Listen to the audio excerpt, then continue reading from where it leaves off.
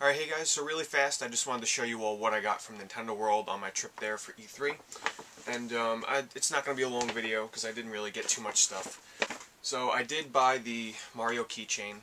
Uh, I didn't know the price of it, but it was $4.99. It's actually a cool little keychain. I'll open it up real fast for you guys. Alright, so here's the Mario. Cool little solid plastic figure. Wasn't bad for $4.99.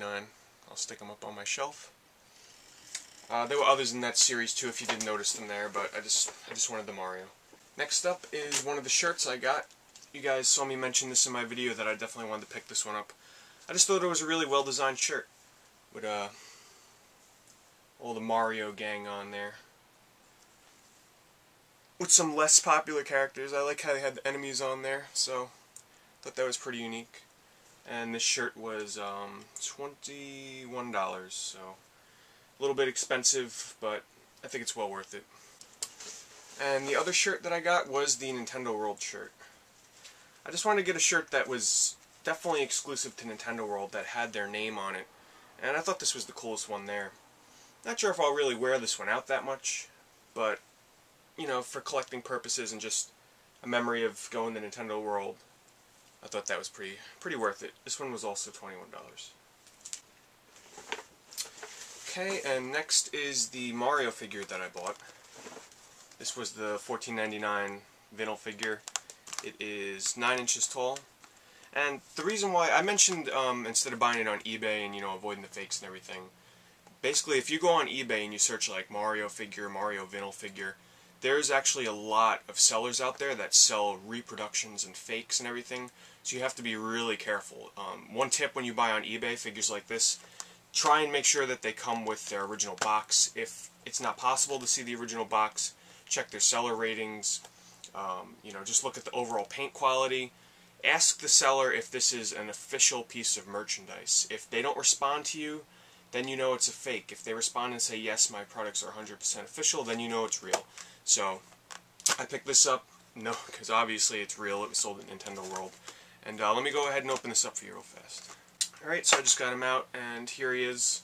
Pretty standard Mario figure. Head moves, arms move. And uh, while I was taking him out, I just remembered one more thing on eBay to look out for. When they sell the figures in large lots of like 15 or 20 pieces, and they sell them for like $100, $150, those are fake. When you see vinyl figures on there that are just a couple of dollars, buy it now. Um, you know, and the deal seems too good to be true, most likely fake as well. So, there you go. That's the Mario figure pretty nice, not bad at all for $14.99. Okay, and next, I only got one mug, and you'll find out which one I got, because I mentioned that I wanted the Nintendo mug with all the characters, and I wanted the Zelda mug.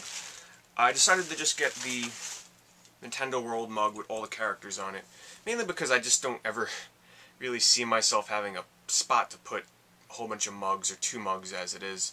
And I just thought this was a really nice, well-designed piece of merchandise with the Nintendo World logo on there and all the Nintendo characters, a lot of them from the Mario universe.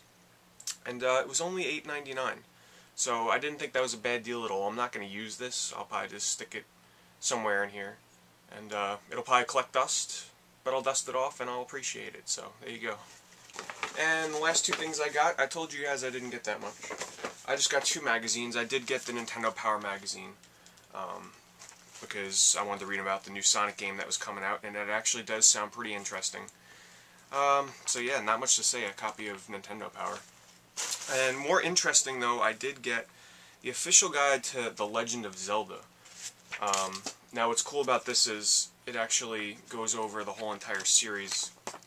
I didn't get a flip to look uh, a chance to flip through here yet, but as you can see, it's probably pretty useful if you ever wanted to go over the Zelda series. I'm sure it's pretty accurate.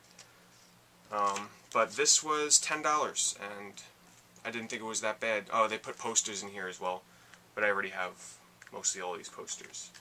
So, there you have it, guys. Um, that was my trip to Nintendo World and the things that I bought. Hope you enjoyed the videos from there, and stay tuned for more.